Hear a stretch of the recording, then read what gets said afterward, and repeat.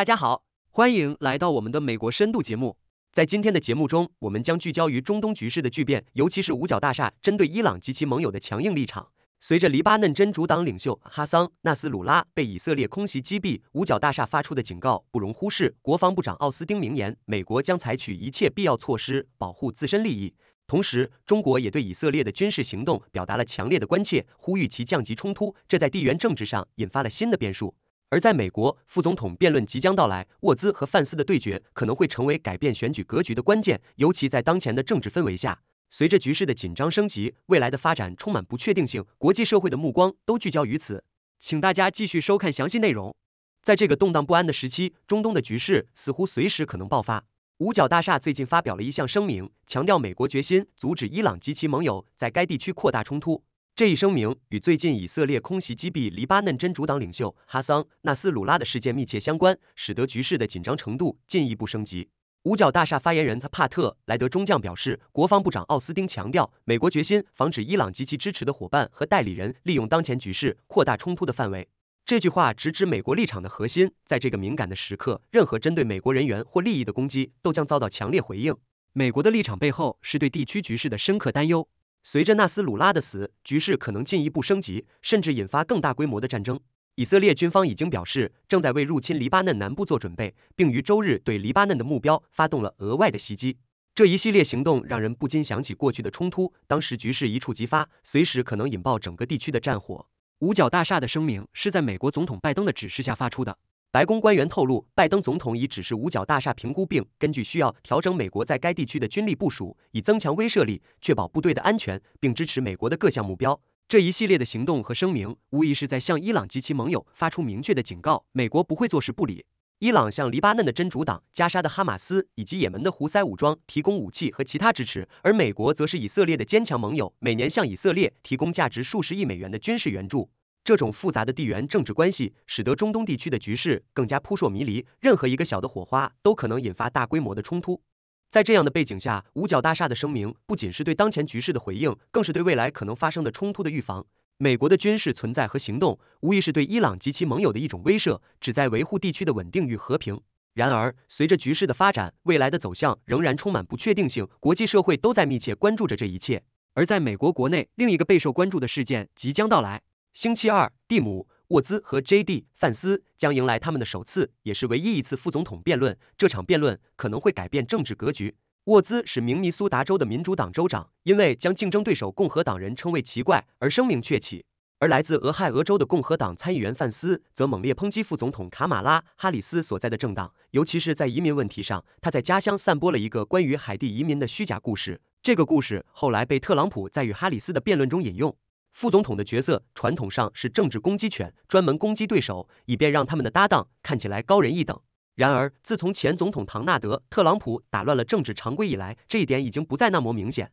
副总统负责主持参议院，并有权打破平局。卡马拉·哈里斯已经创下了三十三次的记录，他超越了自一八二五年至一八三二年担任副总统的约翰 ·C· 卡尔霍恩所保持的记录。副总统还在国会中负责正式认证选举结果，这一职责在二零二一年一月六日特朗普支持者袭击国会大厦的事件中，副总统麦克彭斯仍然履行了。即使当时有些人高喊着吊死麦克彭斯，但副总统的主要工作是随时准备接任总统的职位。如果总统去世或辞职，九位副总统已经接任。最近的一位是杰拉尔德·福特，他在理查德·尼克松于一九七四年辞职后成为总统。一九六七年通过的宪法第二十五修正案明确了接任规则，规定副总统在总统被免职或去世或辞职的情况下成为总统。他还允许总统和国会提名并批准新的副总统，如果该职位空缺。副总统历史学家乔尔 ·K· 戈德斯坦表示，最近对特朗普的两次刺杀未遂事件提高了接任的相关性，但他补充说，许多选民将副总统提名人视为选择他们的候选人的附属品，而不一定是未来的总统。人们确实会考虑某人是否准备好随时接任，戈德斯坦说，但这也是一个问题，即选择他们的人是否是一个好的决策者。一九九二年，第三方候选人的罗斯佩罗的搭档詹姆斯斯托克戴尔在辩论中开场时说：“我谁？我为什么在这里？”这句话让人感到困惑。他后来对一个问题的回答：“我没有把助听器调高，更是加深了这种印象。”二零零八年，当共和党的亚利桑那州参议员约翰·麦凯恩选择阿拉斯加州州长莎拉·佩林作为他的搭档时，这场副总统辩论备受期待，并且麦凯恩的民调有所上升。但佩林与当时的特拉华州参议员乔·拜登的对决，最让人记住的是，佩林在开始前走向拜登，说：“我可以叫你乔吗？”这是佩林试图避免错误的称呼他的对手为 “Obiden”，将拜登的名字与他的搭档当时的伊利诺伊州参议员巴拉克·奥巴马混淆。一九八八年，德克萨斯州的民主党参议员洛伊德·本森对他的对手印第安纳州的共和党参议员丹·奎尔发表了尖锐的回应。在奎尔将自己与约翰 ·F· 甘乃迪相比较后，本森回应道：“你不是杰克·甘乃迪参议员，但这是民主党票仓在一场失利的选举中为数不多的亮点之一。”在二零二零年，哈里斯与共和党副总统麦克·彭斯对峙，当他试图打断他时，他宣称：“我在发言。”这句话在本次竞选中再次被他引用。但两位候选人可能都被一只在彭斯头发上停留的苍蝇所掩盖，这一幕似乎持续了很久。副总统提名人的选择历来对选举日的结果影响不大，但今年可能会有所不同。休斯顿莱斯大学的政治学教授马克 ·P· 琼斯进行的历史分析表明，选民并不会因为候选人的搭档而受到影响，即使是将一位有色人种女性的主要政党提名人与一位白人男性搭档的想法，例如哈里斯选择沃兹，也可能被高估。我们拥有的证据表明，他们实际上是在为总统候选人投票。琼斯说，一个关键的警告是，考虑到目前在摇摆州的竞争如此激烈，在边缘上这可能会有所影响。琼斯说，沃兹的范斯辩论可能会改变今年更多意见的原因之一是，哈里斯和特朗普只在九月初共享过一次舞台，这意味着星期二可能是选民在选举日之前看到两个票仓直接对抗的最后机会。但更可能的是，沃兹和范斯只需避免那些可以被无限重播的令人难忘的失误。琼斯表示，这种改变比赛的失误不太可能发生，但也不是不可能。他们很有纪律，琼斯说，但只需要一次失误。在国际方面，随着中东局势的不断升级，中国政府敦促以色列立即采取行动，以降低紧张局势。这一呼吁是在以色列空袭中真主党领袖哈桑·纳斯拉拉被杀的事件后发出的。这次空袭造成了黎巴嫩首都贝鲁特多栋建筑被夷为平地，并引发了两国之间更深层次的冲突。中国外交部在周日表示，中国对相关事件高度关注，对地区紧张局势的升级深感担忧。他们强调反对任何侵犯黎巴嫩主权和安全的行为，并谴责所有伤害无辜平民的行动。中国呼吁各方，特别是以色列，立即采取措施，以降低局势，防止冲突进一步扩大或失控。以色列总理本雅明内塔尼亚胡在周六的一段视频声明中表示，消灭纳斯拉拉对于改变地区力量平衡是必要的，这也是以色列更广泛军事战略的重要组成部分，特别是在面对来自伊朗支持的团体的持续威胁时。伊朗最高领袖哈梅内伊则表示，纳斯拉拉的死将不会被报复，并宣布为期五天的公众哀悼。随着局势的恶化，德黑兰呼吁联合国安全理事会召开紧急会议，要求对以色列采取行动，以避免将地区拖入全面战争。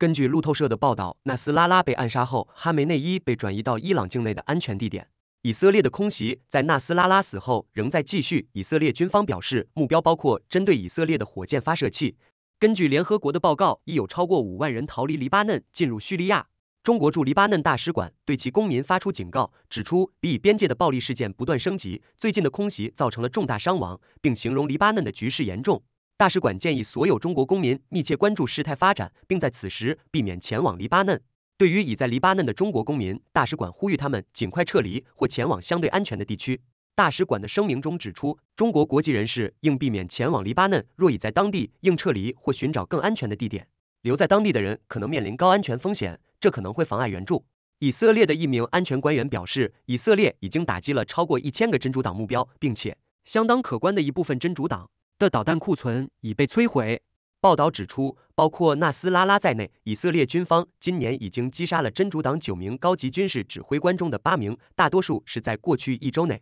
美国国务院也在周六将对黎巴嫩的旅行警告提升至最高级别，警告公民不要前往该国，理由包括的犯罪、恐怖主义、内乱、绑架、未爆地雷和武装冲突的风险。当前在黎巴嫩的美国公民被建议在商业航班仍可用的情况下离开。美国总统乔·拜登表示，他已指示国防部长洛伊德·奥斯汀改善美国在中东的防御姿态，以最小化更大范围地区冲突的风险。随着局势的升级，人们对冲突失控的担忧加剧，可能会将伊朗、真主党的主要支持者以及美国卷入其中。联合国对潜在后果发出警告。联合国秘书长安东尼奥·古特雷斯对暴力的明显升级表示严重关切。他在周六的声明中指出，这一暴力循环必须立即停止，各方必须从边缘退回。黎巴嫩人民、以色列人民以及更广泛的地区都无法承受全面战争。古特雷斯呼吁各方重申对近二十年前的安全理事会决议的承诺。该决议呼吁结束二零零六年以色列与真主党之间的战争，并迅速停止敌对行动。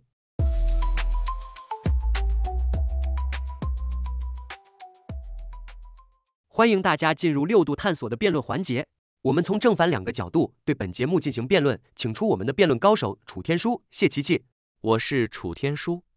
我是谢琪琪。各位观众。各位网友，中东地区再次陷入紧张局势。美国五角大厦表态要阻止伊朗扩大冲突。美国这么做不仅是为了保护自己的利益，更是为了维护地区的稳定。大家试想一下，如果伊朗及其盟友得寸进尺，整个中东地区岂不是陷入无尽的混乱？美国这次展现的决心，是要让伊朗知道，他们的小动作不会得到纵容。就像历史上的汉武帝对匈奴一样，该出手时就出手，才能保护国家的安全和利益。哈哈，楚天舒，你这么说，不觉得自己有点像美国大白鲨吗？每次一有风吹草动，美国就跳出来扮演世界警察，实际上是为了自己的利益，而不是别人的安危。就像汉武帝打匈奴，最终受苦的是边境的黎民百姓。美国不是来维护和平的，而是来搅乱局势的。五角大厦的这些表态，不过是为了掩盖他们在中东的各种小动作罢了。谢琪琪，你的冷嘲热讽确实有点意思，但是美国的军事干预确实在很多情况下有效的遏制了恐怖主义的蔓延。看看二零零一年后在阿富汗的行动，虽然纷争不断。但塔利班政府被推翻，恐怖组织的活动受到了极大的限制。这次美国在中东的行动，也是为了防止类似的情况再次发生。如果任由伊朗胡作非为，未来的后果难以想象，就像西楚霸王项羽一样，最后只能自刎乌江。楚天舒，你这话说的好像美国是救世主一样。你提到阿富汗，那我就来说说，阿富汗战争不仅未能根除恐怖主义，反而使得当地的民众生活更加水深火热。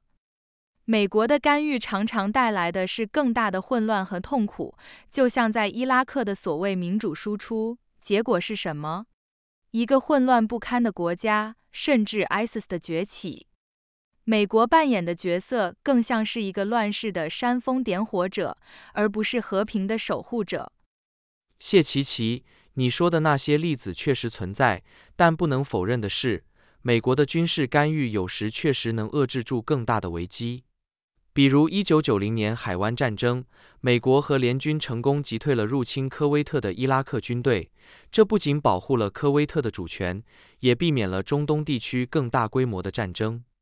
在这次的情况下，美国的干预同样是为了防止伊朗扩大冲突，保护地区的稳定。我们不能仅看到负面的例子，而忽略了正面的贡献。哈哈，楚天舒，你这么说，就像《三国演义》里的刘备，每次都打着匡扶汉室的名义来征战，实际上是为了自己的利益。同理，美国每次干预中东，都说是为了地区稳定。实际上是为了自己的石油利益和地缘政治优势。美国的所谓正面贡献，在当地民众的眼中，更多是霸权主义的体现。与其指望美国来解决问题，不如让当地国家自己来解决，不要再被外界力量所摆布。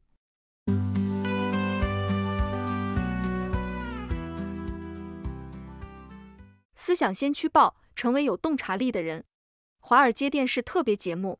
纽约时间每天早上八点，李奇博士主持。和平评点，谢谢大家收看六度探索。